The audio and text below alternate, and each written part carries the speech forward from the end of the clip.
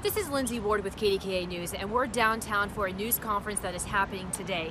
This is over the fight at the Exxon gas station in Marshall Shadeland actually a week ago from today, and we're expected to hear from the attorney representing the two women, the two African American women involved in this fight. Now, yesterday there was also a news conference, and we were there as well. That involved the workers there, and we heard from their attorney on their side of what happened. Today, it's about the women, and we're hearing from what happened to them and how they're feeling and what they're going through. We'll have all the details for you and the video that was released on KDKA News.